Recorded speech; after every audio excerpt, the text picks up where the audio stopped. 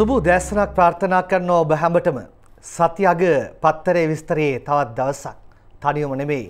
වගේ හිතවතා සමගින්. ඔබට සුබ දැසනක් කිව්වාගේ මොහොටත් සුබ දැසනක් කියමු. ධම්මික ඔබට සුබ දැසන සුබෝදෑසනක් ඔබටත් සුබෝදෑසනක් සැමට. එමනම් අපි සූදානම් පත්තරවල විස්තර ඔබට ඉදිරිපත් කරන්න ප්‍රධාන ශිෂ්පාට කීපයක් පළමුව බල්ලෙමු. දේශීය පත්තරයේ ප්‍රධාන ශිෂ්පාටයට අවධානය යොමු කරන්න හේතුව මේ දවස්වල පෞද්ගලික අධ්‍යාපනය පිළිබඳව විශේෂයෙන්ම පෞද්ගලික විශ්වවිද්‍යාල පිළිබඳව කතාවක් යනවා. පෞද්ගලික වෛද්‍ය විද්‍යාල ඕනෑ වෛද්‍ය සභා සභාපති මහාචාර්ය කාලු ෆොන්සේකා කියයි දේශපාලන වාර්තා කරුලියන්.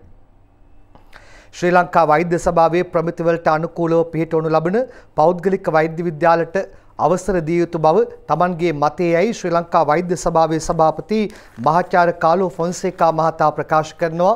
ඒ වෛද්‍ය සභාවේ අදහස නොව තම පෞද්ගලික මතය බවද මහාචාර්යවරයා සඳහන් කර සිටිනවා කියලා වාර්තා කරන ආකාරයක් දක්නට ලැබෙන. අසනීප තත්ත්වයෙන් ඉන්නේ ඒ නිසා මම බැලුවා කොහොමද මේ කොතැනද කියලා තියෙන්නේ කියලා කොළඹ නවනගර ශාලා ශ්‍රවණාගාරයේදී පසුගියදා පැවති රට කට සහ හෙට පොත එළිදැක්වීමේ උළෙලේදී මහාචාර්යවරයා මෙම අදහස් පළ කළා කියලායි පත්තරේ දාලා තියෙන්නේ. ඊළඟට අපි යන්න සූදානම් වෙන්නේ රිවිඩ ඉරිදා සංග්‍රහයට.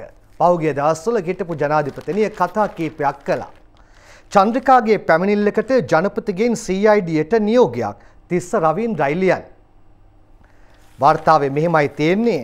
තෙල් සංස්ථාව මගින් ඉන්ධන පිරුම්හල් ලබා දීමේදී හා තෙල් ආනයනය කිරීමේදී සේවකයන් බඳවා ගැනීමේදී සිදු වී ඇතැයි කියන දූෂණ අක්‍රමිකතා ගැන සෙවීමට ජනාධිපතිතුමාගේ නියෝග මත රාස් පොලිසිය විමර්ශනයක් ආරම්භ කර තිබෙනවා. හිටපු ජනාධිපතිනිය ජනාධිපතිවරයා වෙත ඉදිරිපත් කළ පැමිණිල්ලකට අනුව මෙම පරීක්ෂණ සඳහා රහස් පොලිසිය පසුගියදා කංජතෙල් සංස්ථා ප්‍රධාන කාර්යාලයට පැමිණ පැමිණිල්ලට අදාළ ලිපි ලේඛන රහස් පොලිසිය භාරයටගෙන තිබෙනවා කියලා වාර්තා කරන ආකාරයක් දක්නට ලැබෙනවා.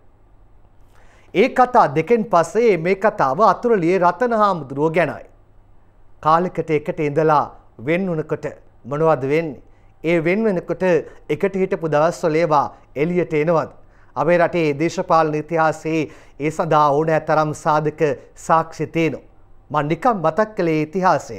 හේතුව දිවයින ඉරිදා සංග්‍රහයේ ප්‍රධාන ශීර්ෂ පාඨයේ තියෙන වචන ටික.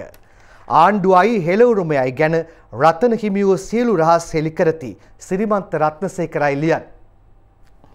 ආණ්ඩුවේ සහ ජාතික හෙළවුරුමේ මෙතෙක් හෙළි නොකළ රහස් රැසක් ඉදිරි දින කීපය තුළ හෙළි කරන බව පාර්ලිමේන්තු මන්ත්‍රී පූජ්‍ය අතුරලියේ රතන හිමියෝ දිවයින ඉරිදා සංග්‍රහයට සඳහන් කිරීමක් කර තිබෙනවා.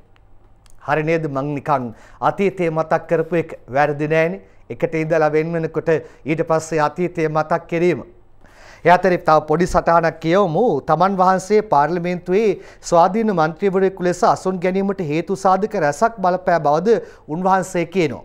ආණ්ඩුවේ ක්‍රියාකලාපය පිළිබඳ රටේ ජනතාවගේ අපේක්ෂා දිනෙන් දින බංගත්වයට පත්වමින් යන බවත් රට යළිත් ගොඩ ගැනීමට නොහැකි වනසේ සීග්‍රයෙන් විනාශමුකය කරා ඇදිමින් පවතින බවත් උන්වහන්සේ කිව්වා කියලා පත්තරේ දාලා තියෙනවා. පත්තරේ විස්තරේ මං ඔබට කිව්වේ. ඒ අතරේ අද සත්තඬ කතාවක් ලියනවා උන්වහන්සේ පිළිබඳව හැබැයි මෙන්න මේ විදිහටයි. දෙමළ සන්ධානය කැබිනෙට්ටුවට ගේන්න රතන හිමිගෙන් අලුත් වැඩ පිළිවෙලක්. වාර්තාව ඇවිත් තියෙන්නේ ඒ විදිහටයි සඳහන් කරන්නේ වාර්තාවේ මෙන්න මෙහෙමයි මංජුල කුමාරයි ලියන්නේ දෙමළ ජාතික සන්ධානය නියෝජනය කරන ජ්‍යෙෂ්ඨ මන්ත්‍රීවරුන්ටත් කැබිනට් අමාත්‍ය පදවි ලැබෙනසේ ආණ්ඩුවේ සංයුතිය වෙනස් කළ යුතු බවට අතුරුලියේ රතන හිමි යෝජනා කරනවා. දෙමළ ජාතික සන්ධානය උතුරේ දෙමළ ජනතාවගේ බෞතරය නියෝජනය කරන පක්ෂය වුවත් ඔවුන්ට රාජ්‍ය පාලනයට එකතු වීමට ඇති අවස්ථාව අහිමි වීම මත නිරන්තරයෙන් රජය කෙරෙහි විවේචන පමණක් ගෙනෙන කණ්ඩායමක් බවට පත්ව ඇති බව රතන හිමි සඳහන් කරනවා. මේ තවත් තැනක් පොඩ්ඩක් උපුටලා ගමු පළාත් ඇමති දූර පිරිනැමීම හා තවත් යෝජනා රැසක් සමාජගත කිරීම වෙනුවෙන් ලබන විසි අට වෙනිදා. අනිද්දා කොළඹ බණ්ඩාරනායක ජාත්‍යන්තර අනුස්මරණ සම්බන්ධන ශාලාවේදී විශේෂ සමුළුවක් පැවැත්වීමට මේ වන විට කටයුතු සූදානම් කර තිබෙනවා ශ්‍රී ලංකා ජාතික මහසභාව නමින් වන පුළුල් ජාතික ව්‍යාපාරයක් ආරම්භ කරමින් මෙම සමුළුව පැවැත්වෙනවා කියලායි පත්තරේ දාලා තියෙන්නේ. හරි දැන් යමු ඉරිදා ලංකාදීප ප්‍රධාන ශීර්ෂ පාඨයට. අලුත් ක්‍රමයට ඡන්දෙ තියන්න යනවා. මේකට පක්ෂ කීයක් කැමතිද? ඔබ දන්නවනේ පළාත් පාලනය නව ක්‍රමයට පවත්වාගෙන යන්නට යන විදිහත් එක්ක එහෙමත් නැත්නම් මේ සඳහා අර විවිධ දේවල් සීමා නිර්ණයත් එක්ක කතා වෙන කාරණාවට ජයිපෙ දක්ව ප්‍රතිචාරය ඒක තවත් පක්ෂවලට ගිහිල්ලා වගේ අලුත් ක්‍රමයේ ඡන්දෙට පක්ෂ 10ක් විරුද්ධයි ලියන්නේ නිශාන්ත බණ්ඩාර පළාත් පාලන මැතිවරණය නව ක්‍රමයේ යටතේ පැවැත්වීමට දේශපාලන පක්ෂ 10ක් විරෝධය දක්වා ඇති බව ඉරිදා ලංකාදීපයට වාර්තා වෙනවා. කඳුරට ජනතා පෙරමුණ ප්‍රජාතන්ත්‍රවාදී ජනතා පෙරමුණ කම්කරු ජාතික සංගමය දෙමළ ජාතික සන්ධානය ජනතා විමුක්ති පෙරමුණ ශ්‍රී ලංකා මුස්ලිම් කොංග්‍රසය ඇතුළු පක්ෂ කිහිපයක් පිළිබඳව වාර්තාවකුත් පළ කර තිබෙනවා. ඔන්න ඒ සිද්ධියෙන් පස්සේ අපි දැන් ඒකාබද්ධයයි ශ්‍රී ලංකා නිදහස් පක්ෂයේ ආණ්ඩුව කරවන කොටසයි ඒ දෙපැත්තට යමු. පොහොට්ටුව. පොහොට්ටුව කොයි පැත්තෙන්ද පිපිගෙන එන්නේ කියලා මාමුතු වෙන්න ඔබට කියන්න අවශ්‍ය නැහැ. දේශයේ ලියනවා පොහොට්ටුවට සෙට් වූ മന്ത്രിවරුන්ට කේස්. මොකද්ද කේස් එක කියලා බලන්නයි දැන් සූදානම් වෙන්නේ ගයන් ගාල්ලගේ ලියන්නේ. අලුතින් පිටවනු ලැබූ පොදුජන පෙරමුණ පක්ෂයේ ප්‍රචාරක වැඩස්ථාන සඳහා ශ්‍රී ලංකා නිදහස් පක්ෂ මන්ත්‍රීවරුන් හය දෙනෙකු සහභාගී වීමට එරෙහිව විනය ක්‍රියාමාර්ග ගැනීමට තීරණය කර ඇතැයි ශ්‍රී ලංකා නිදහස් පක්ෂ විනය කමිටුවේ ජ්‍යෙෂ්ඨ නායකයෙක් දේශීය පත්තරයට සඳහන් කර තිබෙනවා.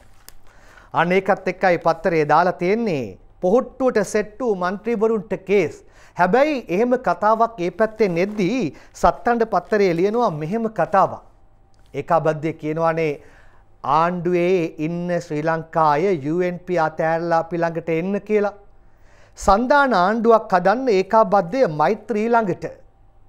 වාර්තාව අරන් ඇවිල්ලා තියෙන්නේ ඒ විදිහටයි. මංජුල කුමාරා යෝක ලියන්නේ එක්සත් ජනතා නිදහස් සන්ධානයේ ආණ්ඩුවක් ගොඩනැගීම සඳහා ජනාධිපති මෛත්‍රීපාල සිරිසේන මහතා තීරණය කරන්නේ නම් ඒකාබද්ධ විපක්ෂයේ නියෝජනය කරන කණ්ඩායමේ පූර්ණ සහාය ඒ සඳහා ලබා දිය හැකි බව ඒකාබද්ධ විපක්ෂයේ නියෝජිතයන් කණ්ඩායමක් පසුගියදා ජනාධිපතිවරයාට දැනුම් දී තිබෙනවා. මොන මොනවා හරි වෙනවා. ඒ වගේ නේද පේන්න තියෙන්නේ. දේශපාලන කරලි සන්දාන ආණ්ඩුවක් හදන්න ඒකාබද්ධය මෛත්‍රී ළඟට කියලා සත්තඬ දාද්දී හිටපු ජනාධිපතිතුමාගේත් වත්මන් ජනාධිපතිතුමාගේ ඡායාරූප දෙකක් දෙපස දාලා ලංකාදීපේ සටහන් දෙකක් උඩ යට ලියනවා. බලන්න ඔබට පළමුව ඒ වාර්තාව මොකක්ද කියලා. මේ තියෙන ඊට අදාළ වාර්තාව. ඒකාබද්ධයේ කාටවත් මගෙන් තහංචි නෑ. අජන්ත කුමාර අගලකඩ ලියලා තියෙන්නේ. ඒකාබද්ධ විපක්ෂයේ සිටින ශ්‍රී ලංකා නිදහස් පක්ෂ මන්ත්‍රීවරුන්ට පක්ෂයේ සමග එක්ව කටයුතු කිරීමට කිසිදු බාධාවක් නැතැයි ජනාධිපති මෛත්‍රීපාල සිරිසේන මහතා ඉකුත් බදාදා පැවති ශ්‍රී ලංකා නිදහස් පක්ෂ ආසන සංවිධායකවරුන්ගේ රැස්වීමේදී ප්‍රකාශ කර තිබෙනවා.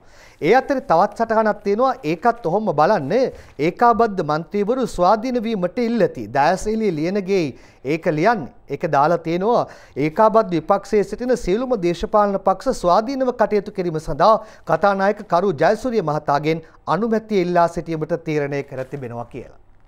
මේ විසංවාදාත්මක කතා කීපයක් එක්ක මොනහරි දෙයක් පෑහෙන්ඩ දෙපැත්තේ ඉන්න අය පෑහෙන්ඩ යන ආකාරයකුත් පෙන්눔 කරනවා. මං යන්න ඕනේ ඊළඟට සත්හඬ පත්තරේ සටහනකට ඊට කලින් මෞබිමේ දාලා තියෙනවා මෛත්‍රී මහින්ද දෙපිලේ සාකච්ඡා සාර්ථකයි කියලා කතාවකුත් ඇමති එස්බීගේ චාරූපයත් එක්ක යන්න හදපු තැනට දැන් යමු. සත්තඬ ලියනවා මහින්දගේ ප්‍රජායිතිය අහෝසි කරන්න ජනපති කැමති නෑලු. එමයි වාර්තා වර්ගෙන ආකාරය අපිට දක්නට ලැබෙන්නේ සත්හඬ පත්තරේ බලමු එහි සටහන හිටපු ජනාධිපති කුරුණෑගල දිස්ත්‍රික් පාර්ලිමේන්තු මන්ත්‍රී මහින්ද රාජපක්ෂ මහතාට එල්ල වී ඇති චෝදනා පදනම් කර ගනිමින් ඔහුගේ ප්‍රජාහිතය අහෝසි කිරීමට කටයුතු කරන්නේයි ආණ්ඩුවේ ඇමතුරුන් කීප දෙනෙකු හා සිවිල් සමාජයේ නායකයන් පිරිසක් ජනාධිපතිවරයාගෙන් කළ ඉල්ලීම ඔහු විසින් ප්‍රතික්ෂේප කර ඇතැයි ජනාධිපති කාර්යාලය ආරංචි මාර්ග කියනවා. ඔන්න කතාබහ. මං හිතන්නේ මේ වන විට මේ කතාබහ පිළිබඳව ඔබට අවබෝධයක් ඇති. ඒ අතරතුරේදී ව්‍යවස්ථාව ගැනත් හුටපට ගණනාවක් යනවනේ. දම ඔබට අවස්ථාව ව්‍යවස්ථා කතාබා පත්තරයෙන් ආරම්භ කරන්න. ඕරංගන මේ විවස්ථා කතාවත් විදායක ජනාධිපති ක්‍රමයක් ගැන අපිට එන්නේ පසුගේ ජනාධිපතිවරන සමයේ හරි හරියට මේවා පිළිබඳව කතාබහ කළා. හැබැයි ගෙවුණු වසර ගණනාව තුළම මේවා ක්‍රියාවට නංගෙන බවක් නං දක්නට ලැබුණ නෑ යම් යම් යෝජනා සහ අදහස් පිළිබඳව හැර. මෙන්න මේ පිළිබඳව මව්බිම තවත් ඉඟියක් පළ කරනවා ප්‍රධාන සිරස්තලයෙන්. නව විවස්ථාව සිහිනයක් විදායකයත් අහෝසි වන පාටක් නැහැ. ජේටි ද සිල්වා සහ දයා පෙරේරායි ලියන්නේ. පවතින ව්‍යවස්ථාවේ ඇති වගන්ති කිහිපයක් ජනමත විචාරණයකින් හැර ඉවත් කිරීමට නොහැකිවීම නිසා නව ආණ්ඩුක්‍රම ව්‍යවස්ථාවක් එළි දැක්වීමේ සිහිනය බොඳ වී යන ලකුණු පහළ වෙමින් තිබේ.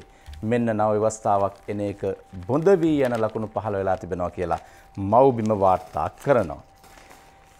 ඒ අතර ව්‍යවස්ථාව පිළිබඳවම තවත් කතාවක් අපට අද දවසේ මුල් පිටුවලින් වාර්තා වෙනවා දේශය පුවත්පතේ. මෙන්න මෙහෙමයි කියන්නේ. නව ව්‍යවස්ථාව මේ වසර අග ලියන්නේ සජීවිකා සමරතුංග. වාර්තා වෙනවා මෙන්න මේ විදිහට. යෝජිත ආණ්ඩුක්‍රම ව්‍යවස්ථාව මැති සභයට ඉදිරිපත් කිරීමේ මේ වසර අග දක්වා කල් දැමීමට රජය තීරණය කර තිබේ. දැනටමත් ව්‍යවස්ථාව සම්බන්ධ මූලික කාරණා ගණනාවකට ශ්‍රී නිපය හා එජාපය අතර දැඩි මතගැටුමක් හටගෙන ඇත.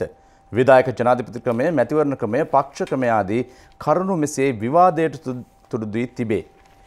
මැතිවරණ ක්‍රමය ව්‍යවස්ථාව පිළිබඳව සහ පක්ෂ ක්‍රමය පිළිබඳව මේකට විවාදයට තුඩු දී තිබෙනවා කියලා තමයි කියන්නේ. ඒ අනුව මේ කාරණාව තව ටික දවසක් කල් යන ලකුණු තමයි ඒ වාර්තාවට අනුව අපට හැඟී යන්නේ.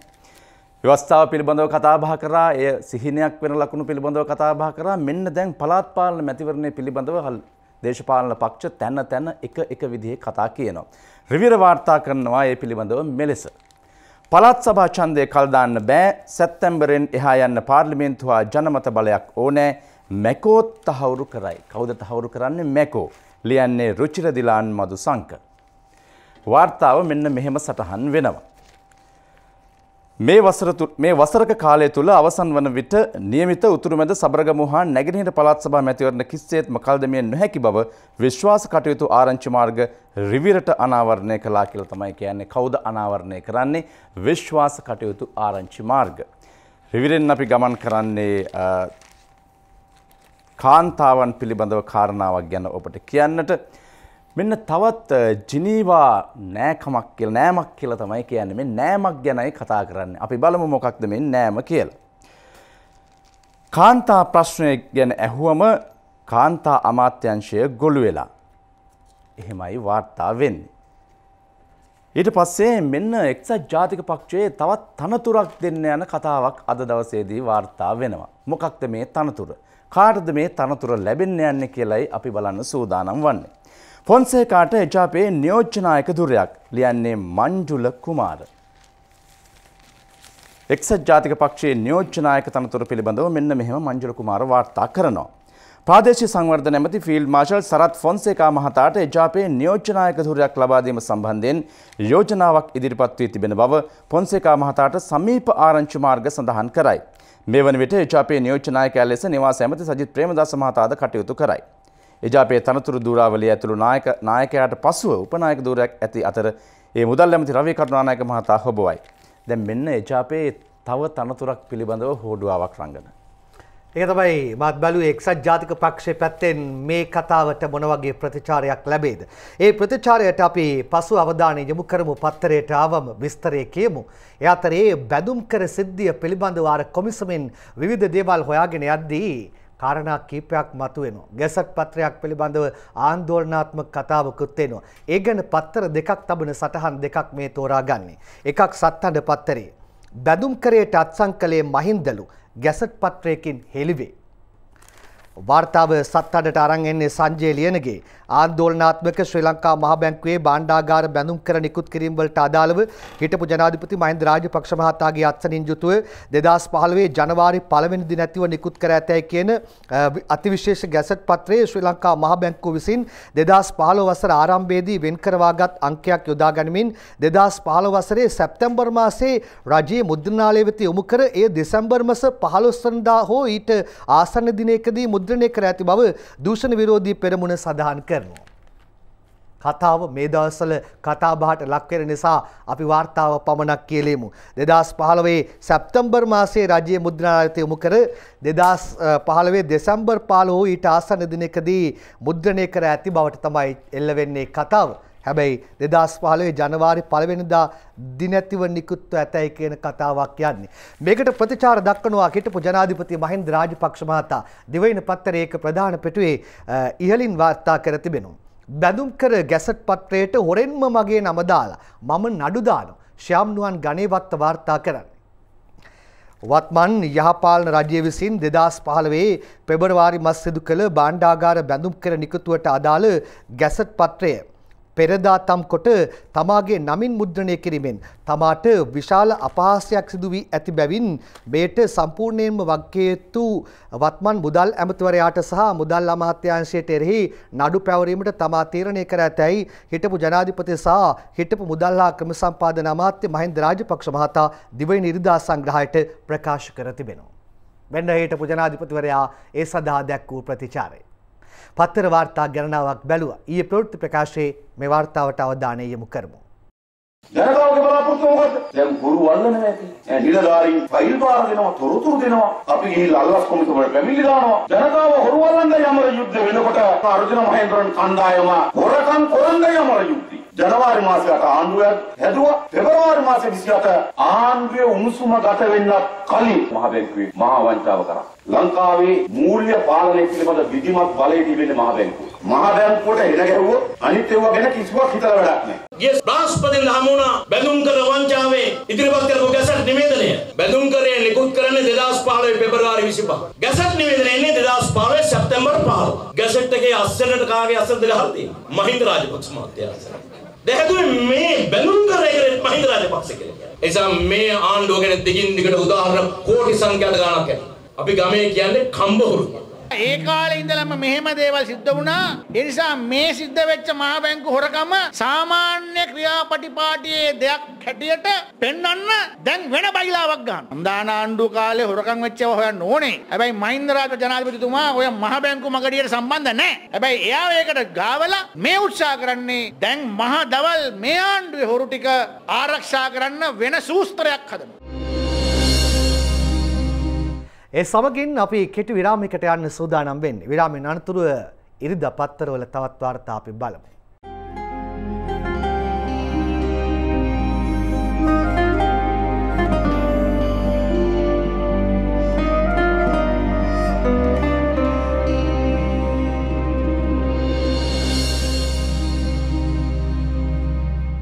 ආණ්ඩුව කරවන ඇත්තන් දෙවර්ගයක් ඉන්නවානේ. UNP ඇත්තන් සහ ශ්‍රී ලංකා ඇත්තන්. දැන් UNP ඇත්තන්ගෙන් පැත්තේ මෙන්න මෙහෙම කතාවක් ඇවිල්ලා තියෙනවා. දිවයින ප්‍රධාන පිටුවේ තමයි ඕක තියෙන්නේ. ආණ්ඩුවේ හයියට එක්සත් ජාතික පක්ෂයෙන් සැලසුමක්. අකිත පෙරේරායි වාර්තා කරන්නේ. ආණ්ඩු පාලනය සාර්ථකව ඉදිරියට ගෙන යන අතරතුර එක්සත් ජාතික පක්ෂයේද ශක්තිමත් කොට සංවිධාන කටයුතු කිරීම සඳහා ගත යුතු නව ක්‍රියාමාර්ග මොනවාදයි කියා සදුදා වන විට විස්තර ලබා දෙන ලෙස අග්‍රාමාත්‍ය රනිල් වික්‍රමසිංහ මහතා එජාප ඉහළ නායකයන්ට දැනුම් දී තිබෙනවා. එජාප ඉහළ නායකයන්ටයි මේ දැනුම් දීම කරලා තියෙන්නේ. එය අතරේ කෝටි 655ක බදු පොල්ලට නීති නිලධාරියෙක්ගෙන් මුක්කුවක් අජිත් තලහකෝන් ලියන්නේ. නීතිපති දෙපාර්තමේන්තුවේ ජේෂ්ඨ නිලධාරියෙකුගේ වැරදි සහගත උපදෙස් මත ඇමති මණ්ඩල අනුකමිටුව විසින් පුද්ගලික ආයතනයකට පැරණි වාහන කොටස් ගෙන්වීමට අවසර ලබා දීම නිසා රජයට රුපියල් කෝටි 655ක බදු මුදලක් අයින් වනු ඇතැයි රේගු නිලධාරීහු චෝදනා කරනවා. මං කියනවනේ අර ප්‍රේක්ෂක ඔබට සමහර වෙලාවට එක සතියකට රජයට රටට ආණ්ඩුවට වෙච්ච පාඩු ටික පත්තරවල වාර්තා කරනකොට ගණන් හිරව් ටිකක් හදන්න කියලා අද ඉරිද වුණාට කමක් නැහැ. පොඩ්ඩක් එකතු කරලා බලන්නකෝ. මෙතන කියන්නේ කෝටි 655ක බදු පොල්ලක්. සෙල්ලම්ද බිලියන 6.5ක බදු පොල්ලක් ගැනයි සටහන්. පාඩු ලබන රාජ්‍ය ආයතන විකුණයි. අකිත පෙරේරායි ලියන්නේ පාඩු ලබන රාජ්‍ය ආයතන විකුණා දමන ලෙස හෝ වහාම පෞද්ගලීකරණය කරන ලෙස රජයේ ජ්‍යෙෂ්ඨ උපදේශකයෙකු එවැනි ආයතනවල නිලධාරීන්ට බලපෑම් කරන බව රාජ්‍ය ආරංචි මාර්ග ඔස්සේ දිවයින ඉරිදා සංග්‍රහයට වාර්තා වෙලා තිබෙනවා. එතකොට කවුද මේ දේවල් විකුණන්න කියලා බලපෑම් කරන්නේ? කියන්නේ මොකද්ද ජ්‍යෙෂ්ඨ උපදේශකයෙකු ඒ වගේ ආයතනවල නිලධාරීන්ට බලපෑම් කරමින් සිටිනවා කියලා.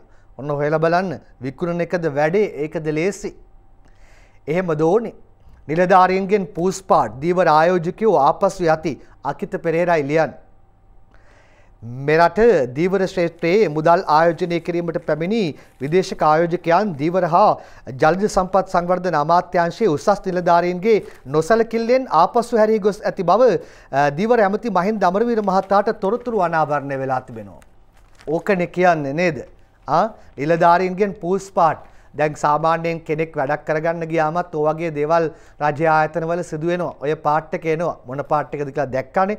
දීවර ආයෝජකයොත් ආපසු ගිහිල්ලා අර පාට් එක බලන් ඉන්න බැරුව තොරතුරු ඇවිල්ලාලු ඇමතිට. මං ඒකටම සම්බන්ධ කරන්න මෞබිමේ තියෙන මෙන්න මේ වාර්තාව. විදෙස් ආයෝජන කඩාකප්පල් කරන නිලධාරීන්ට අමරවීර අනතුරු අඟවයි. පත්තර දෙකටම ඒ වාර්තාව ඇවිල්ලා තියෙනවා කියලා කියන්නේ සෑහෙන්න හිතන්න ඕනේ. ශ්‍රී ලංකාවේ විදේශ ආයෝජනය කිරීමේ අධෛර්යවත් කිරීමේ සූක්ෂම ව්‍යාපාරයක් රජයේම නිලධාරීන් පිරිසක් විසින් ක්‍රියාත්මක කරමින් සිටින බවද තොරතුරු හෙළිදරව් වෙමින් තිබෙනවා කියලා වාර්තා කරන ආකාරයයි දක්නට ලැබෙන්නේ. මෞබිම පුවත්පතේ ප්‍රධාන පිටුවටයි දැන් අවධානය යොමු කරන්නේ පළාත් පාලන මැතිවරණය සහ මේ යන ක්‍රමවේදය පිළිබඳව පක්ෂ විපක්ෂ පක්ෂ නායකයන් විටින් විට තම තමන්ගේ ආසන සංවිධායකවරුන් විධායක සභාව මධ්‍යම සභාව මේ සියල්ල මුණ ගැහෙනවා. මෙන්න අග්‍රාමාත්‍යවරයා මෙවැනි කටයුත්තකට සූදානම් වෙනවා වාර්තා කරනවා මෞබිම පුවත්පත මෙලෙස. රනිල්ගෙන් සංවිධායකයන්ට ඩෙඩ්ලයින් එකක් ලියන්නේ උපතිස්ස පෙරේරා. රජයේ ආර්ථික නව සැලසුම් හා රැකියා දසලක්ෂයේ වැඩසටහන ක්‍රියාත්මක කිරීම පිළිබඳව කොට්ටාශ මට්ටමින් ජනතාව දැනුවත් කිරීම සඳහා තම උපදෙස් මත අරඹ ඇති වැඩපිළිවෙල අප්‍රේල් මාස දෙවැනි සතිය වන විට අවසන් කළ යුතුයයි අග්‍රාමාත්‍ය රනිල් වික්‍රමසිංහ මහතා එජාප ආසන සංවිධායකයන්ට හා මන්ත්‍රීවරුන්ට උපදෙස් දී තිබේ. මෙන්න රැකියා දසලක්ෂය පිළිබඳව යළිත් කතා කරන්නට පටන් අරන් ආසන සංවිධායකවරුන්ට ඒ වගේම ප්‍රාදේශීය මට්ටමේ ඉන්න සියලු දෙනාට අග්‍රාමාත්‍යවරයා උපදෙස් දෙනවා කියලා තමයි වාර්තා වන්නේ. හිටපු ජනාධිපතිතුමිය විටින් විට විවිධ ආකාරයේ ප්‍රවෘත්ති මවනවා සහ විවිධ ප්‍රකාශයන් කරනවා. මෙන්න එතුමී පිළිබඳව මවබිම අද තවත් වාර්තාවක් ගෙනෙනවා. නාමල් චන්ද්‍රිකාගෙන් මිලියන දෙසිය පණහක වන්දයක් ඉල්ලයි. ලියන්නේ දෙනගම දම්මික රණවීර. තමන්ගේ කීර්තිනාමයට අපහසයක් කොට ඇතැයි සඳහන් කරමින් හම්බන්තොට දිස්ත්‍රික් පාර්ලිමේන්තු මන්ත්‍රී නාමල් රාජපක්ෂ මහතා විසින් හිටපු ජනාධිපතිනේ චන්ද්‍රිකා බණ්ඩාරනායක කුමාරතුංග මහත්මියගෙන් රුපියල් මිලියන 250ක වන්දියක් ඉල්ලා එන්තරවාසියක් යවා තිබෙනවා. තමන්ගේ කීර්තිනාමයට හානියක් සිද්ධ කළා කියලා හිටපු ජනපතිතුමියගෙන් මිලියන 250ක වන්දියක් ඉල්ලලා තමයි එන්තරවාසී යවුවා කියලා මව්බිම වාර්තා කරන්නේ. අග්‍රාමාත්‍යවරයා තමන්ගේ ආසන සංවිධායකවරුන්ට ඩෙඩ් ලයින් එකක් දීපු කතාවක් අපි වාර්තා කරා මෙන්න ජනාධිපතිවරයා ශ්‍රී ලංකා නිදහස් පක්ෂයේ විදායක සභාව රැස් කරන්න සූදානමක් පිළිබඳව වාර්තා වෙනවා. ශ්‍රීලනිප විදායක සභාව මාර්තු දෙවනි දාරැස්වෙයි ලියන්නේ දෙනගම දම්මික රණවීර. ශ්‍රී ලංකා නිදහස් පක්ෂයේ විදායක සභාව මාර්තු දෙවනිදා පදනම් ආයතනයේදී පැවැත්වීමට එම පක්ෂය කටයුතු යොදා ඇති අතර එම අවස්ථාවට ඉදිරිපත් කිරීමට අපේක්ෂිත යෝජනා හෙටවන විට පක්ෂ මූලස්ථානයට යොමු කරන ලෙස ශ්‍රී ලංක මහලේකම් දුමින්ද දිසානායක මහතා විසින් සියලුම විදායක සභා සමාජිකයන්ට දැනුම් දී තිබෙනවා කියලා තමයි වාර්තා වන්නේ. පක්ෂයේ කටයුතු පිළිබඳව අපේක්ෂිත යෝජනා ඉදිරිපත් කරන්න තිබෙනවා. මෙන්න දෙවනිදාට ශ්‍රී ලංකා නිදහස් පක්ෂයේ විදායක සභාව රැස් වෙන්න නියමිත බව තමයි වාර්තා වන්නේ. නවකවදය පිළිබඳව වාර්තා වුණා. සබර්ගම විශ්වවිද්‍යාලයේ ශිෂ්‍යයන්ගේ ශිෂ්‍යභාවයත් අහෝසි කරපු වාර්තාවක් ආවා. ඒ වගේම පේරාදෙණිය විශ්වවිද්‍යාලයේ නවකවදය පිළිබඳව දැන් පරීක්ෂණත් ආරම්භ කළා. මෙන්න නවකවදය පිළිබඳව ශිෂ්‍යයන්ට වැටෙන තහනමක් පිළිබඳව මවබිම වාර්තා කරනවා. නවකවදයට වැටක් ශිෂ්‍යභාවය තහනම්. ලියන්නේ චාමිනී ගම්මන් පිළ. නවකවදවලට සම්බන්ධ වන සරසවි සිසුන්ගේ ශිෂ්‍යභාවය තහනම් කිරීමට විශ්වවිද්‍යාල ප්‍රතිපාදන කොමිසන් සභාව තීරණය කොට තිබේ කියලා වැඩිදුර වාර්තාවේ සඳහන් වෙනවා මෙන්න නවකවදය දෙන්නට කවුරුන් හෝ ජේෂ්ඨ ශිෂ්‍යයන් කල්පනා කරනවා නම් කල්පනාවෙන් කියලා තමයි කියන්නට වෙන්නේ. පැතිරයන රෝගයක් පිළිබඳව යළිත් කතාබහ කරන්න පටන් අරන් තිබෙනවා බලමු මේ රෝගය කුමක්ද කොහොමද සිද්ධ වෙන්නේ කියලා වාර්තාව මෙන්න මෙහෙමයි තිබෙන්නේ. ලාදුරු යළි හිස ඔසවයි ලියන්නේ උපතිස්ස පෙරේලා. එක්දා සමසය හැත්තනම වසර වන විට ශ්‍රී ලංකාවෙන් තුරන්ව තිබූ ලාදුරු රෝගය නැවත හිස ඔසවමින් තිබෙන නිසා ඒ පිළිබඳව සැලකිලිමත් වන ලෙස ශ්‍රී ලංකා ලාදුරු මර්ධන ව්‍යාපාරය ජනතාවට ඇරවුම් අනතුරු අඟවනවා. ඔන්න ලාදුරු යළි හිස ඔසවන්නට පටන් ගන්නවා එක්දහස් නමසය හැත්තන මේ වසරෙන් පස්සේ ඒ නිසා අවධානයෙන් ඉන්න කියල තමයි රංගන ජනතාවට කියන්නේ. ඒ දේ පිළිබඳවත් ඔබට මතක් කරනවා ප්‍රධාන පිටුවල තව ශේෂ පාට ඉතිරි රැදී සිටින්න විරාමිකට ගිහින් එන්නම්.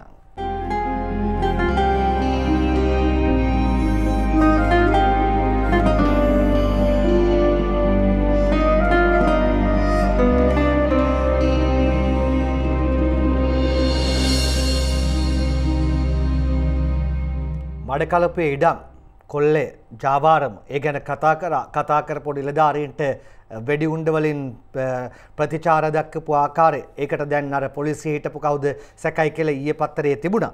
ඒ අතරේ ඔබ දන්නවද මඩකලපු ඉඩම් වලට පොලිස් ආරක්ෂාව ඉල්ලයි. දෙනගම ධම්මික රණවීර අයිලියන්. ඉඩම් ප්‍රතිසංස්කරණ කොමිසන් සභාවට අයත් මඩකලපුව දිස්ත්‍රික්කයේ පිහිටි සියලුම ඉඩම් වලට පොලිස් ආරක්ෂාව ලබා දෙන ලෙස ඉල්ලා ඒ සභාපති තාඹුගල මහතා විසින් පොලිසියට ලිපියක් යොමු කොට තිබෙනවා. එම නැතුව කොහොමදනේ අර විදියට ප්‍රතිචාර දක්වන්න පටන් ගත්තට පස්සේ අගවිනිසුරු ශ්‍රී පවන් විශ්‍රාමයයි. දේශයයි වාර්තාවාරගෙන එන්නේ මෙමයි ඒ ලියල් තියෙන්නේ දේශපාලන වාර්තාකරු අගවිනිසුරු ශ්‍රී පවන් මහතා මෙම මස විසි අටවෙනිදා විශ්‍රාම ලැබීමට නියමිතයි. ඒකම අද රිවිර ලියනවා ඊළඟ අගවිනිසුරු තන්තුරට නම් දෙකක් සුජිත් කෝනාරයි වාර්තා කරන්නේ. වැඩදුර වාර්තාවේ මෙහෙමයි තියෙන්නේ අග්‍ර විනිශ්චකාර කේ ශ්‍රී පවන් මහතා අනිද්දා දින විශ්‍රාම යාමට නියමිතව ඇති අතර ඒ සඳහා මේ වන විට ශ්‍රේෂ්ඨාධිකරණයේ ජ්‍යෙෂ්ඨතම විනිසුරුන් දෙදෙනෙකුගේ නම් යෝජනා වී ඇති බව රජයේ ඉහළ පෙළේ ආරංචි මාර්ග රිවිර ඉරිදා සංග්‍රහයට සඳහන් කරනවා. දෙන්නෙක්ගේ නම් යෝජනා වෙලා තියෙනවා කියලා කියන්නේ. ඒකම සැක්කරුවන් ගැන ටිකක් කතා කරමු. මෙන්න සැක්කරුවන්ට පිහිටක්. සැක්කරුවන්ගේ පිහිටට අලුතින් නීතියක්.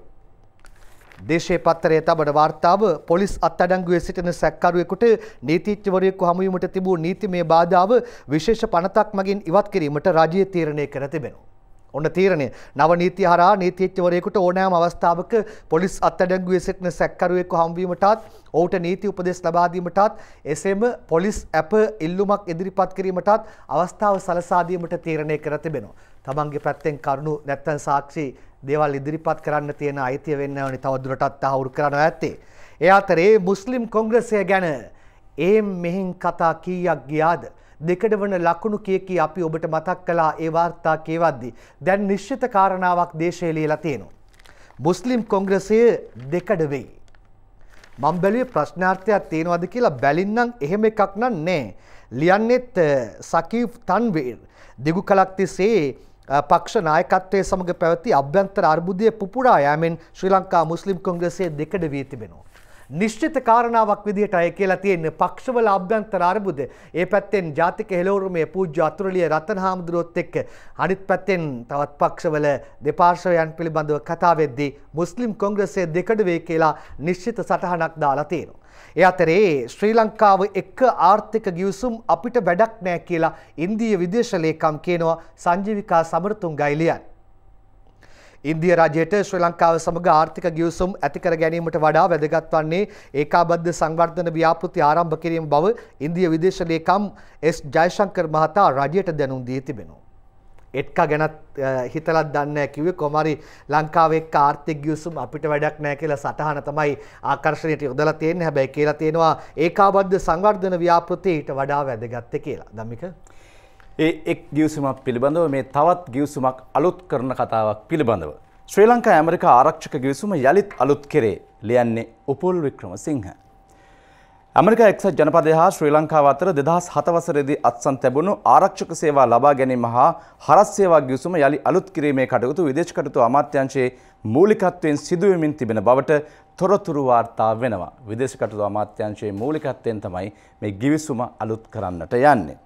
උසස් අධ්‍යාපනය පිළිබඳව අධ්‍යාපනය පිළිබඳව පාරේ කඩපිලේ කාර්යාලය තුළ පාර්ලිමෙන්තු තුළ කතා වෙනවා. ඒ අතරේ චම්පික ඇමත්තුමා අලුත් යෝජනාවක් ගේනවා. මෙන්න මෙහෙම.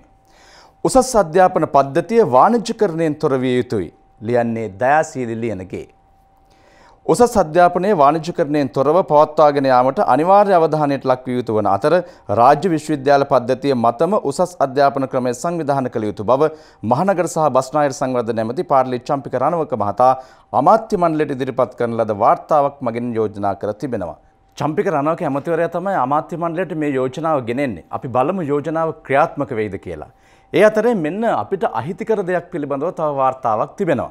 මිනිස් සිරුරට අහිතකර රසායන රසකාරකයක් වෙළඳ පොලේ. ලියන්නේ මහින්ද නිශ්ශංක. වෙළඳ පොලේ මේ දිනවල අලුත් රසකාරකයක් අලය කරන බවත් එම රසකාරකය යොදා පිළියල කරන ආහාර ගැනීමෙන් අනතුරුව එම ආහාර අනුභව කළ අයට අධික පිපාසයක් ඇතිවන බවට තොරතුරු ලැබී ඇතැයි සමස්ස ලංකා ආපනශාලා හිමියන්ගේ සංගමය කියනවා. ඔන්න අලුත් රසකාරකයක් එනවලු ඒව කෑවට පස්සේ පිපාසේ වැඩි වෙනවලු. එහෙම වුණොත් කල්පනාවෙන්. මෙන්න ලංකාවේ අධිවේගී මාර්ග පිළිබඳව කතා වෙනවා. දක්ෂිණ අධිවේගී මාර්ගයේ තිබෙනවා තවත් කටුනායක අධිවේගී මාර්ගයේ තිබෙනවා තවත් අධිවේග මාර්ග දෙකක් ගැන කතා වෙනවා. ඒ අතර මෙන්න මෙහෙම පුවතක් වාර්තා වෙනවා. අධිවේගී මාර්ග පාලනයට වෙනම සමාගමක් මාර්ග සංවර්ධන අධිකාරියේ පාලනය ඉවත් වෙයි. ලියන්නේ අජන්ත කුමාර අගලකඩ. මෙරට අධිවේගී මාර්ග පාලනයට වෙනම යටිතල පහසුකම් සමාගමක් ආරම්භ කර ඒ යටතට පත් කිරීමට මුදල් අමාත්‍යංශය යෝජනා කරයි. යෝජනා කරන්නේ මුදල් අමාත්‍යංශය තියෙන්නේ මහාමාර්ග අමාත්‍යංශය යටතේ. හොඳයි මෙන්න තවත් කතාවක් කියනවා. රටේ ආර්ථික තත්ත්වය පිළිබඳව හොයන්න කණ්ඩායමක් ලංකාවට එනවලු. ආර්ථික තත්ත්වය සොයන්න මුල්්‍ය අරමුදලේ ලොක්කෝ ලංකාවට උපදෙස් වාර්තාවක් දැනටමත් එවලා. ලියන්නේ අජන්ත කුමාර අගලකඩ. ජාත්‍යන්තර මූල්‍යාර මුදලේ ප්‍රධානය ක්‍රිස්ටිනා ලගාඩ් මහත්මය ඇතුළු නියෝජිත පිරිසක් ලබනමස මුලදී ශ්‍රී ලංකාවට පැමිණීමට නිමිත බව රජයේ ආරංචි මාර්ග සඳහන් කරනවා. මෙන්න ලංකාවට එනවා ලංකාවේ ආර්ථික තත්ත්වය පිළිබඳව සොයා බලන්න. ඇවිල්ල මේගොල්ල මොනවද කරන්න කියලත් ඉදිරියේදී අපිට දකින්න පුළුවන්කම ලැබේ. ඒ අතරේ මෙන්න ඊ රාත්‍රී ප්‍රවෘත්ති ප්‍රකාශයේ එක් අවස්ථාවක්. රුපියල් මිලියන තුන්සිය අසූ දෙකක වියදමින් ඉදිකරන පොළොන්නරුව නව අධිකරණ සංකීර්ණයට මුල්ගල තැබීම අද පෙරවරුවේ සිදු කෙරුණේ ජනාධිපති මෛත්‍රීපාල සිරිසේන මහතාගේ ප්‍රධානත්වයෙන්. අන්තර්ජාතික වශයෙන් අපේ අධිකරණයට චෝදනා එල්ල වුණේ එහි තිබුණු බොහෝ ගැටලු සහ ප්‍රශ්න වගේම විවේචනශීලී ලෙස යම් යම් කටයුතු සිදුවුණු ලෙසයි. මේ රටේ අපක්ෂපාතී ස්වාධීන ආදර්ශමත් අධිකරණ ශේෂ්ත්‍රයක් ගොඩනගන්න අපි රජයේ විදියට සෑම විටම කැප වෙනවා. ඒ සඳහා විනිශ්චකාරතුමාලා ඇතුළු කාර්ය මණ්ඩලවල සේවය අපි ඉතාමත් අගය කරනවා. විදේශීය විනිශ්චකාරවරු මේ රටට ගෙන්වන්නට ඕනේ කියලා තිබුණු ප්‍රශ්නය අපි අවසන් කළා. එක්සත් ජාතීන්ගේ මහලේකම්වරයාට මානව හිමිකම් කොමසාරිස්වරයාට ඒ වගේම ප්‍රබල ප්‍රබල රටවල්වල නායකයින්ට සෑම කෙනෙකුට මම කිව්වා විදේශීය විනිශ්චයකාරවරු ගේන්න මම කිසිසේත් ලෑස්ති නැහැ. එක පැත්තකින් නීතියෙන් ඉඩක් නැහැ. අපේ ආණ්ඩුක්‍රම ව්‍යවස්ථාව එහෙම නම් වෙනස් කරන්න ඕනේ. මම අපේ අධිකරණ ශාස්ත්‍රය පිළිබඳ අපි රජයක් විදිහට විශ්වාසය තබනවා. ඔවුන්ගේ දැනුම අත්දැකීම් සහ බුද්ධිය සමග එතුමන්ලාට අවංක සේවයක් ඉටු කරන්න පුළුවන් ඕනෑම කාර්යයක් තුල කියලායි. ඒ සමගින් ඇතුල් පිටු වාර්තා කීපයකට අවධානය යොමු කරන්නයි සූදානම් වෙන්නේ. මෙන්න අද SB දිසානායක ඇමතුමා ඉන්නවා ඇතුල් පිටු කීපයක උපුටා ගන්නවා දේශේ පත්තරෙන් ආණ්ඩුවක් වුණාම ඉතින් හොරු එක්කත් ඉන්න වෙනවා. ඇමතුමා එහෙමයි කියලා තියෙන්නේ. හාල් මිල ලොකු ප්‍රශ්නයක් නොවේ. පාදිනීල විභාග පාස් වුණ හැටි හොයලා බලන්න. මහින්ද අරන් නොපෙන්නූ ණය ආර්ථික අර්බුදයට ලොකු හේතුවක්. උසස් අධ්‍යාපන ඇමති මම නම් ළමයින්ට ඕම නටන්න දෙන්නේ නැහැ. ඒ ඇමති SB දිසානායක දැක් වූ අදහස් කීපයක් හෙඩින් එක දාලා තිබ්බ හැටි අමතක නෑනේ ආණ්ඩුවක් වුණාම ඉතින් හොරු එක්කත් ඉන්න වෙනවා. දාලා තියෙන ආකාරයයි අපි කියන්නේ විමුක්ති රත්න මලලයි වාර්තාව ගේන්නේ. ඊළඟට අපි යනවා මව්බිම් පැත්තට. මව්බිම උත්තර ඉල්ලයි. බලන්න මොනවටද ඉල්ලන්න කියලා. දෙනවා කිව්ව Wi-Fi කෝ Google බැලුමේ හුලං ගියාද වැඩේ ඇනුනේ ඇයි මව්බිම් පත්තරේ දාලා තියෙන ආකාරයයි පෙන්눔 කරන්නේ. ඒ අතරේ ජයිපෙන් ලේකම්වරයා ප්‍රධාන ලේකම්වරයා කරන ප්‍රකාශයක් අද ඇවිල්ලා තියෙනවා රිවිර පත්තරේට. දැන් තියෙන්නේ අලුත් පව් පෙන්වා පරණ පව් වසා ගැනීමේ දේශපාලනයක්. වත්මන් දේශපාලනයට අලුත් අර්ථනීපරූපණයක් දෙන්නේ ජයිප ප්‍රධාන ලේකම් ටිල්වින් සිල්වා ඔහු කියන්න මෙන්න මෙහෙමයි දැන් තියෙන්නේ අලුත් පව් පෙන්වා පරණ පව් අසා ගැනීමේ දේශපාලනයක් කියලා. කවුරුත් එහෙමද. එයාතරේ අතුරලේ රතන හාමුදුරුවෝ මෙන්න ඇතුල් පිටුවලත් ඉන්නවා ප්‍රධාන පිටුවලත් ශේෂපාට කීපයක් අපි බැලුවා. දිවයින ඇතුල් පිටු වාර්තාවකට යන්නේ. ජයග්‍රාහකයාත් මෛත්‍රී වගේ උත්තරකාරයාත් මෛත්‍රී. පූජ්‍යාතුරලියේ රතන හිමි දිවයිනට කියන්නේ සාකච්ඡා කරන්නේ සිරිමන්ත රත්නසේකර මම එක්සත් ජාතික පක්ෂයට යන්නෙත් නෑ ශ්‍රී ලංකා නිදහස් පක්ෂයට යන්නෙත් නැහැ. මම ඉපදී තියෙන්නේ මේ රට ආරක්ෂා කරගන්නයි. මන්ත්‍රී ධූරය වෙනුවෙන් ගොළුෙක් වෙන්න මම සූදානම් නෑ. මම තීන්දු තීරණ ගන්නේ මා සමග සිටින පිරිස් සමගයි කියලත් උන්වහන්සේ සඳහන් කරනවා. දැන් ලංකාදීප පුවත්පතේ ඇතුල් පිටු වාර්තාව. අද කෞද මුහුණට මුහුණ ප්‍රශ්න කරන්නේ. ප්‍රශ්නායට පළත් සභාවේ ප්‍රධාන ඇමති ඉසුර දේවප්‍රිය. එජාපේ කියන කියන දඟලනවා වැඩි කියන මහඇමතිට ප්‍රශ්න පත්‍රයක්. එජාපේ කියන දඟලනවා වැඩි කියන මහඇමතිට ප්‍රශ්න පත්‍රයක්. අපි පළාත් සභාවේ වැඩ කරන්නේ එජාපේ න්‍යාය පත්‍රයට නොවේ. සම්මුතිවාදය තියෙන්නේ මධ්‍යම රජයට අදාළව. සම්මුතිවාදය පලාත් සභාවලට අදාළ නැහැ. සම්මුතිවාදයක් ගැන කෑගැහුවට එහෙම එකක් දැන් නැහැනේ. කෞද මේ කියන්නේ. බස්නායර මහඇමතිතුමා ඉසුර දේවප්‍රේ මහත්තයා. ලංකාදීපේටයි යළිත් හැතුල් පිටු වාර්තාවකට අවධානය යොමු කරන්නේ. ඉසුර දේවප්‍රිය මහ ඇමතිවරයා පිළිබඳව මුහුන්ට මුහුණ ප්‍රශ්න කරද්දි මෙන්න තවත් ඇතුල් පිටුවක බස්නාහිර පළාත් සභාව පිළිබඳව මෙන්න මෙහෙම කතා කිහිපයක් කියනවා. මේ කීප දෙනෙක් කිව්ව කතා. බස්නාහිර පළාත් සභාවේ ඇමතීන් තුනකට ශ්‍රීලනිප මන්ත්‍රීවරුන්ගේ විරෝධය. පිරිසක් ස්වාධනොත් සභාවේ පාලනය පෙරලන්න ඉඩ. ජනතාවට වෙන් කළ ලක්ෂ හතලිහක් වියදම් නොකර ආපසු යවලා මේ කියන්නේ පළත් සභාවේ මන්ත්‍රීවරු. ඇමතිවරුන්ගේ ප්‍රධානතම රාජකාරය අවමංගල්ලවලට උත්සවලට යන එක. කෞද මේ කියන්නේ බස්නාහිර පළත් සභාවේ ඇමතිවරු තුන් දෙනෙකුට විරුද්ධව කිරණ කතා. දේශය පුවත්පතේ ඇතුල් පිටුවකටයි අවධානය යොමු කරන්නේ. විගණන පනත පිළිබඳව ඇහෙන කතා. විගණන පනතට එරෙහි වෙන්නේ හොරු කෞද මෙහෙම කියන්නේ. බරපතල මූල්‍ය වංචා පිළිබඳ ජනාධිපති කොමසමේ හිටපු ලේකම් ලැසිල්ද සිල්වා. අපි මුල් කාලේ කළ වැඩ නිසා ආණ්ඩුවත් බැබලුණා. සමහර ඇමතිවරුන්ටත් ඇමතිවරුන් මට බලපෑම් කළා. මාව දොට්ට දාපු එක ගැන මට තියෙන්නේ සතුටක්. හොඳයි ඒ අතරතුරේදී අපි සූදානම් වෙන්නේ සීගිරිය පැත්තට යන්නටයි. සීගිරිය ගැන කතා පෙර රජකාලෙ සිහිපත් වෙනවා. ඒ නිසානේ සීගිරිය සුකුමාලියේ පෙර රජ සමයේ කියලා කිව්වේ. පස්සේ කාලෙ කිව්වා සීගිරියේ කුරුටු ගීතත් ලස්සනයි කියලා. දැන් ඊයේ පෙරද සීගිරිය ගැන කතා වුණේ කොහොමද? සීගිරියට එන විදේශ සංචාරකයන්ට එලිමහනේ වැසිකිලි. මේ පළමු අනාවරණය කළේ හිරු CIA අනතුරුව පුවත්පත්තේ සඳහා අවධානය යොමු කරන ආකාරයක් පෙන්눔 කර තිබෙනවා. නැවත පුවත්පතත් අවධානය යොමු කරා. අපි පෞගේ දවස්වල මේ පිළිබඳ අනාවරණයන් කළා. යම්තමින් මේ පිළිබඳව අවධානය යොමු කර තිබුණු ආකාරයකුත් දක්නට ලැබුණා. රට විදේශිකයන් හමුවේ මේ විදියට අපහසුතාවයට පත් කරන්න එපා කියන එක අපි ආයෙත් මතක් කරනවා. ඊළඟට පාලන මිල අපි හැමදාම කියන වචනයක් දේශීය පත්තරයට ඇවිල්ලා. පාලන මිල පොතේ වෙළඳෝ ජනතාවත් අතරමං.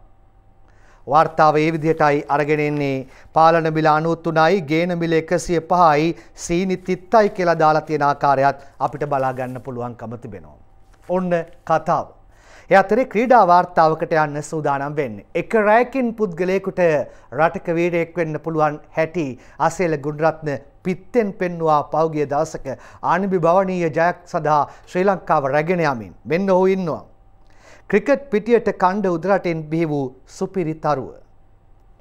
ක්ලබ්වලට සෙල්ලම් කර දස්කම් පෙන්නුවත් පුතාට කිසිවෙක් අනුග්‍රහය දැක්වුවේ නෑ.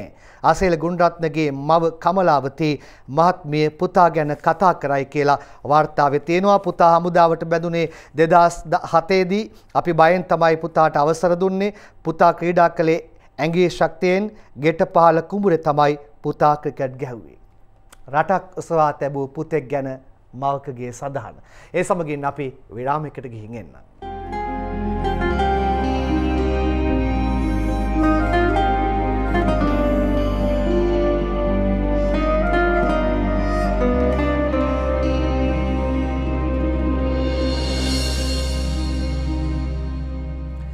අපි දෙන්නම මේ සූදානම් වෙන්නේ ඉරිදා පත්තරවල කාටුන් පෙළ ඔබට දිගහරෙන්න අපි බලාගෙන බලාගෙන යමු ඉරිදා ලංකාදීපේ පියල් සමරවීරගේ ලංකෝනිස් මෙන්න.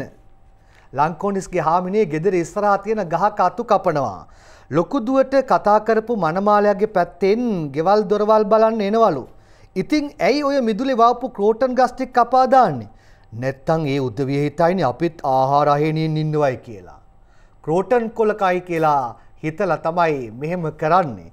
ඊළඟට දිවයින පත්තරේ සුමතිපාල ජෝතිපාලගෙන් සෞදං කාටුන් එක. දෙන්න දෙමහල්ලන්ගේ කතාව. මිනිස්සුන්ට ජීවත් වෙන්න පුළුවන් ග්‍රහලෝක හතක් හොයාගෙනලු. අනිත් එක්කෙන කියනවා කවුද දන්නේ ඒවායෙත් හාල් පොල් නගීද කියලා. ඒවායේ හාල් පොල්වල තත්ත්වය ගැනත් දැන් රටේ ජනතාව හොයනවා වෙනත් ග්‍රහලෝකවල. මේ උපුටා ගන්නේ දේශයේ හසන්ත විජේනායකගේ සොරිසර්. දේශපාලකතුමා කියනවා මෛත්‍රී මහත්තයට හිතිලා එයා ජනාධිපති නෙමෙයි සෞඛ්‍ය ඇමති කියලා. පුරවැසියෙක් කියනවා සමහර වෙලාවට අපිටත් පටලැවෙනවා සර් කියලා. දැන් දිවෙන පුවත්පතේ සුමතිපාල ජෝතිපාලගේ සිංකෝලම. මෙන්න ගෙදර දෙන්න මුණ ගැහිල කතා වෙන දේ. පොල් අසුවයි හාල්සීයයි සම්බෝල කන්න බෑ. අපි ආණ්ඩුවට සහනයක් දෙමුද මෙයා කියල බොහොම ආදරෙන් අහනවා. මෙන්න සහනය. බතුයි සම්බෝලයි නොකා. බතුයි සම්බෝලයි නොකා තමයි ආණ්ඩුවට සහනය දෙන්නේ. දිවෙන පුවත්පතේ ජනහමුවටයි අවධානය සුමතිපාල ජෝතිපාලගේ. මොකද උඹලගේ පවුල ගෝරි දාගෙන රටින් ගෙනාපු හාල් කාගෙන කාගෙන යන්නේ. අහල පහල දෙන්නෙක් මුණ ගැහිල වගේ. රටහාල්වල විසෙන් වැඩි ආසනෙක් තියෙනවනේ බුහැ බුහැ කියල පේනවනේ කාගෙන කාගෙන යන හැටි ආසනෙක් ගැන කියනකොට වෙනදේ මොකක්ද කියලත් අපි මතක් කරන්න ඕනි නැහැනේ. මෙන්න දැන් මවබිම පුවත්පතේ කාටු නෑ උපුටා ගන්නේ. පේනවා කවුද ඉන්නේ මොකද කරන්න කියලා. බලන්නකු. විශ්වවිද්‍යාලයේ කණ්ඩායමක් කැට එකතු කරනවා මේ අපි දකිනවානේ මහමකට බැස්සම විධ හේතු කාරණ මත මේ මුදල් එකතු කිරීම සිද්ධ කරනවා කියලා බස් එකෙත් ඉන්නවා විවිධ විවිධ අය මේ ඒ අතර ඉන්න කෙනෙක් අහන ප්‍රශ්නය. මේ ඔයාර වදකාගාරයට කුලිය ගෙවන්න නේද ප්‍රශ්නයක් අහනවා. ඒ ප්‍රශ්නයෙන් පස්සේ අපි යනවා දඩයමකට අපි නෙමේ ජයිපනායකයා දඩය මේ ගිල්ලා කොහිද කියලා බලන්න හසන්ත විජයනායකගේ කාට උන්න එකෙන්. මූ ගෝනු ඉන්න තැනකට ගිල්ලා ලොක්කු ලොකු ගෝන්නු කීප දෙනෙක් ඉන්නවා එක්කෙනෙක් පෞද්ගලික රෝහල් ටියවෂන් ජාත්‍යන්තර පාසල් පෞද්ගලික රසායනාගාර ඒ ගෝන්නු පැත්තක නිදහසයින් දැද්දී සයිටම් කියන මුවා පස්සේ ජයිපනායකයා පන්නනවා කියලා ඒ කාටුන්න එකෙන් ඇඳලා තියෙන්නේ. හසන්ත විජයනායකගේම තවත් කාටුන් එකක් ඊළඟට බලන්න දේශයේ පත්තරෙන්. මෙන්න තියෙනවා ටේබල් ටෙනිස් ක්‍රීඩාව රවි කරුණානායක මුදල් ඇමති බන්දුල ගුණවර්ධන මන්ත්‍රී සමගින් පන්දුව එහාට දානවා එයා මෙහාට දානවා මෙයා එයයි මෙයයි ටේබල් ටෙනිස් ක්‍රීඩාවේ. දෙන්න හරි හරියට තරග මේ දවස්වල ඊළඟට බලන්න සමතිපාල ජෝතිපාලගේ කාටුන් එකක් දෙවයින පත්තරෙන්. ජනාධිපත්තුමයි අගමැත්තුමයි වගේ ඉන්න. ඒ අතරේ ගලක් යනවා. මෙන්න චන්ද්‍රිකා කුමාරතුංග මහත්මිය කියලා තියෙනවා අද ඉන්න දේශපාලකයන්ට ආත්ම ශක්තිය නිර්භීතකම ඇත්තේ නෑ කියලා. ඒ අතරේ එක්කෙනෙක් අහනවා මේ දෙන්නගෙන් අනිත් එක්කෙනාගෙන් අහක යන ගලක්ද කියලා. රිවිර පුවත්පතටයි අවධානය උපුටා ගන්නේ කැමිලස්ගේ සතියේ ටොක්ක කාටුනේ බලන්නම නොද තියෙන්නේ කියලා. මෙන්න ඉන්නවා කවුද ඉන්නේ දැක්ක ගමම්ම හිතාගන්න පුළුවන් සංකේතය අලියා රැකයා ලක්ෂ පහ කවුදානෙ පැත්තෙන්නේ කැමිලස් බෑග්ගෙහෙකුත් තියාගෙන ඉන්නවා ලක්ෂ දහයක් ගැන කිව්වේ මේ පහෙන් මොකද වෙන්න කියලා වෙන්න ඕනි බෑග්ගෙහෙකුත් තියාගෙන බලා ඉන්නේ. දේශය පුවත්පතටයි අවධානය හසන්ත විජයනායකගේ කාටුනයට. බලන්න කවුද කියලා විදායකයේ ඔළුවේ තියාගෙන ඉන්නේ. විදායක නැති මුට්ටිය ඔළුවේ තියාගෙන ඉන්නේ SB දිසානායක මහත්තයා. දන්නවනේ විදායක පටන් ගත්තේ කවුද කියලා? මුට්ටියෙන් පේන්නේ එයාගේ රූපය. ජේ.ආර්. ජයවර්ධන හිටපු ජනාධිපතිතුමා. ලංකාදීව පුවත්පතේ ඉරිදා කවියටයි දැන් අවධානය යොමු කරන්නේ. මොකද්ද මේ කවියෙන් කියන්නේ? එදවස මෙන් අදත් ගොරු ඇත් නම් ඊට එදවස මෙන් අදත් හොරු ඇත් නම් ඊට ජනපතිතුමනි නොතකා තනතුර පාට දඬුවම් කළ යුතුයි රිදුනත් කොයි කාට ඉන් ලොකු සිතක් වෙනු ඇත පොදු ජනයාට පොදු ජනයාට ලොකු සිතක් වෙනවා කියලා තමයි රංගන කියන්නේ. ඒකම අපි යමු අපේ රටේ රුපියලයි අපේ රටේ දුගියයි බලන්නට. ලංකාදීපේ පියල්ගේ කාටුන් එක මෙන්න බලන්න. හොඳට පේනවාද ඔබට අපේ රටේ රුපියල කාවදාර කරපින්නගෙන යන්නේ මහා ඩොලරය. ඒ අතරේ අපේ රටේ දුගිය කරපින්නගෙන යන්නේ මොකක්ද? ණය. රුපියලටයි දුගියටයි එකම කලගිහිල්ලා. ඒකම කියවෙන තවත් කාටූනයකින් අද අවසානය ගන්න සූදානම් වෙන්නේ. මේ රිවිරේ අසංග ඉඳුනිල්ගේ අපූරු කාටෝන් එකක්. ඇමරිකානු ඩොලර කාරයා පැත්තෙ තියෙන්නේ. ඒක ඉන්නවා එක්කෙනෙක් යටින් ගහලා තියෙනවා වොෂින්ටන් කියලා. මොකද්ද මේ කෙනා කරන්නේ? අර බලන්න පිඹෙනවා හො ගාලා මොකටද රුපියලට අපේ රටේ පුරවැසියාට අල්ලගන්න බැරි වෙන්නමයි රුපියලට පිඹෙන්නේ පො ගාලා. ඔන්න කතාව. හාලුයි පොළොයි වගේ. හාලුයි පොළොයි වගේ. අපි හමුයමු ඉරිදා මේක පුදුම ලෝකයක් සමගින්.